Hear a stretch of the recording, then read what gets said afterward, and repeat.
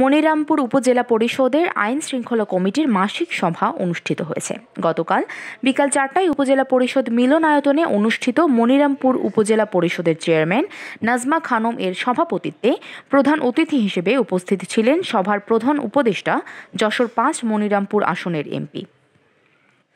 এছাড়াও সে সময় উপস্থিত ছিলেন স্থানীয় সরকার, পল্লী উন্নয়ন ও সমবায় মন্ত্রণালয়ের প্রতিমন্ত্রী স্বপন ভট্টাচার্য। সভায় উপজেলার সার্বিক আইনশৃঙ্খলা পরিস্থিতি শিক্ষা, বাল্যবিবাহ, চুরি, ডেঙ্গু, ভ্যাকসিন, মাদক, রাস্তাঘাট সংস্কার, ড্রাইভিং লাইসেন্স ছাড়া মোটর সাইকেল না চালানো নিয়ে আলোচনা করা হয়।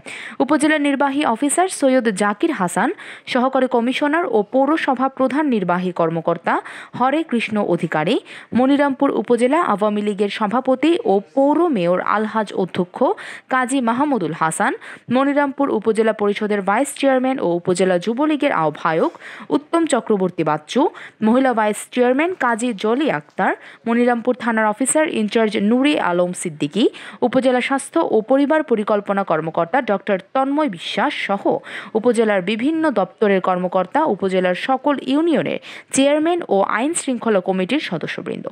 এই সময় আইন শৃঙ্খলা পরিস্থিতি পরিস্থিতির উন্নতির বিষয়ে গুরুত্বপূর্ণ সিদ্ধান্ত গ্রহণ করা হয়। সভার শুরুতে মনিরামপুরের উন্নয়নের কারিগর, স্থানীয় সরকার, পল্লী উন্নয়ন ও সমবায় মন্ত্রণালয়ের মাননীয় প্রতিমন্ত্রী বীর মুক্তিযোদ্ধা স্বপন ভট্টাচার্য এমপির ঐকান্তিক প্রচেষ্টায় যশোরের মনিরামপুর উপজেলায় একশো আটানব্বই দশমিক নয় পাঁচ কোটি টাকা ব্যয়ে প্রায় পঞ্চাশ একর জমিতে আন্তর্জাতিক মানের শেখ জহুরুল হক পল্লী উন্নয়ন একাডেমি যশোর প্রতিষ্ঠাকরণ শীর্ষক প্রকল্পটি প্রধানমন্ত্রী শেখ হাসিনা অনুমোদন দেয় মনিরামপুর উপজেলা পরিষদের আইন আইন শৃঙ্খলা কমিটির মাসিক সভায় উপজেলা প্রশাসন, পৌরসভা, ইউনিক চেয়ার, ইউনিয়ন চেয়ারম্যানগণ সহ মনিরামপুর সরকারি স্কুল, কলেজ শিক্ষক এবং সরকারি সকল প্রতিষ্ঠানের কর্মকর্তাগণ একযোগে মন্ত্রী মহোদয়কে ফুল দিয়ে শুভেচ্ছা জানান। যশোর প্রতিনিধি জুয়েল রানার তথ্যচিত্রে পিআইবি একাত্তর টিভি।